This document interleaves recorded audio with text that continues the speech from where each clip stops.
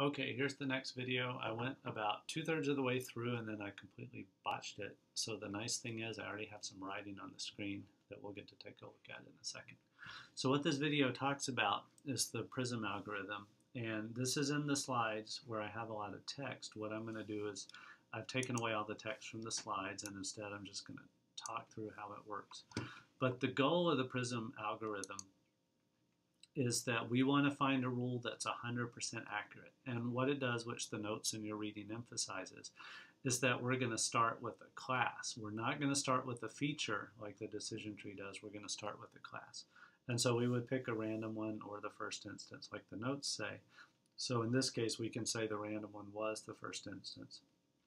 And so what we're going to deal with is we want to get 100% accurate. And so we've seen what accuracy is that it's the number of positive examples, or in other words, it's the support of the rule divided by the support of the antecedent. We want that to be equal to 1. Um, if we think about that with the data sets we've seen, in decision trees, when you actually classify, you're kind of far down in the depth of the tree, and so your rule is kind of complicated. It's like something if whatever the test at the root node was, and then whatever the test at the child of the root was, whatever the test of the grandchild was, then you can classify it. The same thing's going to be in true, true in PRISM, that we're going to have a lot of antecedents joined by if. And what we're going to do is first we're going to find the first one, the best one we can find. Then we'll find the next, second best one, the third best, and so on. That's the approach to PRISM. You might want to say, well, why can't we do more complicated things with OR and stuff? And that's because what the reason we don't do or, we only do and, is because this is a set of decision rules. And in the notes, it talks about trees versus sets or list of rules. We don't care which order these rules are going to happen in. We're just trying to find rules that describe our data. That's what data mining is about. If we have or, that's the same thing as saying, well, one rule can be true or another one can. If we have a list of multiple rules, we don't need or because we're okay with one rule or another. So the or comes from the list. It's not going to come from a bunch of antecedents being joined together. So if we consider the first instance, we're going to find rules that if something, something, something, then play is equal to no. The first rule we want to consider is just going to be a single antecedent. So what our first rule that we're looking for is going to be is we're going to have if some feature is equal to some value for that feature. And that's our goal for the first thing we're going to build. So if we cross out all the instances that we have where play is equal to yes, all the ones that we're not considering, right now we're only trying to classify this one, two, three, four, five instances right here. So we want to find a rule that's going to be accurate for these five instances only. We don't care about the play is equal to yes ones, and we want the rule to have single features. So the outlook feature, there's two values for it, sunny or rain. So it's going to be in consideration if outlook is equal to sunny, then play is equal to no. If outlook is equal to rain, then play is equal to no. We want to compare those two, and the one that's the most accurate is the one we're going to keep. But that might not be the most accurate overall because if temperature is equal to hot, or if temperature is equal to cool, or if temperature is equal to mild. Any of those three rules may be more accurate. So three possibilities for temperature, and if we keep going with that, there's two possibilities for humidity, two for windy. We add those up, there's nine possible rules we're going to consider. And so what we want to keep then is the one with the highest accuracy. And so remember accuracy, um, I'm going to keep harping on this, is the number of positive examples divided by the cover.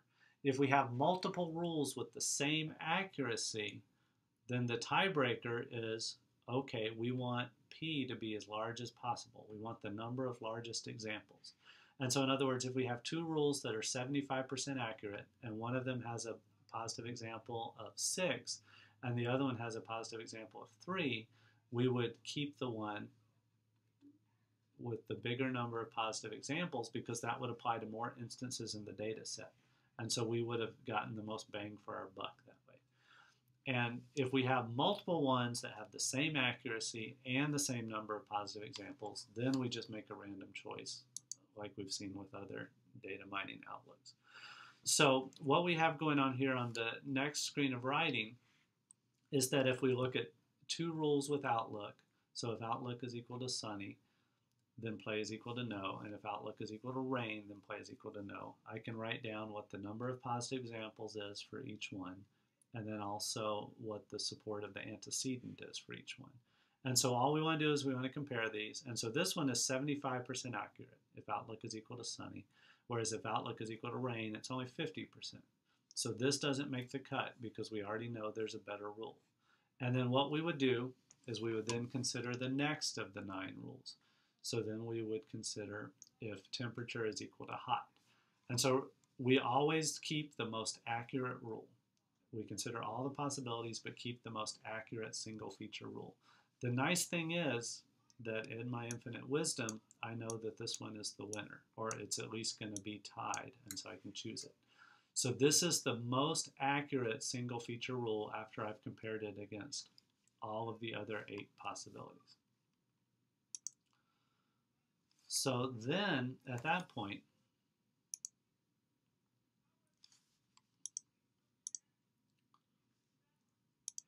what we need to do is we need to recognize, okay, what we've dealt with now is a single antecedent. We've dealt with if outlook is equal to sunny. And so what that is like is that's like crossing out the entire outlook column. What Prism wants to do after that is it wants to add the next antecedent because right now we have 75% accuracy. We need 100% accuracy. And so we can't have a rule if outlook equals sunny and outlook equals overcast. That's those two things are mutually exclusive, and so we would actually lose accuracy. What we want to do is we want to add another antecedent so that we gain accuracy. So we're going to add a new one here, and it's going to be if feature equals value, like our antecedents always are, and we're still dealing with play is equal to no. Until we've covered all the play is equal to no instances, we don't deal at all with play is equal to yes. So we have a three feature data set now, temperature, humidity, and windy. Temperature can take on hot, cool, or mild, so three possibilities. Humidity can take on high, and that's all. So the nice thing is, when we're only dealing with the outlook is equal to sunny instances, we actually got a little bit simpler. Humidity only has one value. And then windy is still going to have um, true and false, though. So now we have 3 plus 1 plus 2. Now we have six possible rules to consider. And so what we want to do then is we want to compare them all, and we want to keep the one that's going to give us the highest accuracy. So if we think about if outlook is equal to sunny, that antecedent covered four instances.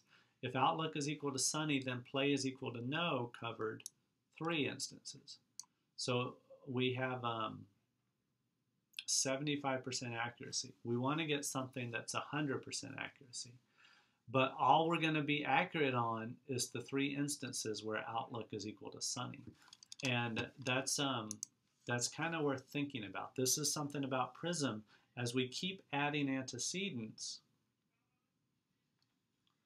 we're going to be dealing with smaller and smaller parts of the data. And so what that means is we're going to have to write down lots and lots of rules. That's just kind of one of the things we have to deal with with Prism.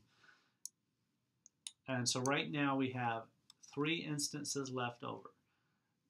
The reason we can't stop here is the accuracy is only 75% because there's this one little troublemaker right here where outlook is equal to sunny and play is equal to yes. So it's a false positive for our rule. So what we want to add is, okay, what can we add that actually that actually gives us more accuracy? Right now we're at 75%. So we consider all the possibilities. So we first start with temperature. If temperature is equal to hot, so our rule is if outlook is equal to sunny and temperature is equal to hot, then play is equal to no. So the positive examples for that, there's two of them. Here's one, here's one. And the cover for that, so let's try to figure this out. So we don't we want the cover not just for temperature is equal to hot, but for outlook is equal to sunny and temperature is equal to hot. So here's one instance. Here's another one. We go down. This one's overcast and hot. Doesn't count because it's not both of them. Sunny and mild doesn't count. So we don't have any more where it's sunny and hot. So this rule is actually 100% accurate because the positive examples in the cover are the same thing.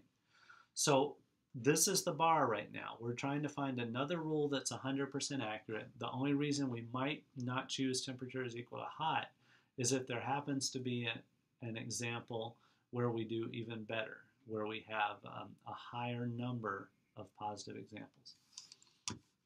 So if we keep looking, so we could exhaustively search, but I think that would, would bore everyone.